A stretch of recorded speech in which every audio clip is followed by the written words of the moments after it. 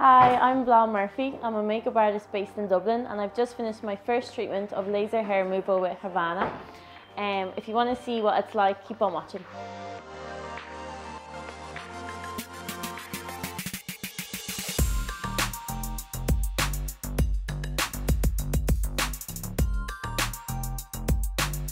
I have to say the pain isn't that bad. Thought it was going to be a lot worse.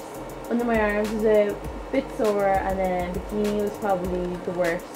But compared to waxing, it's literally like a walk in the park. On a pain scale of 1 to 5 for my legs, it's probably like 1. Forearms, 1 or 0. Um, underarms, probably 2 and then bikini 3. So it's really not that bad. So if you're scared of the pain, don't be. It's, it's fine.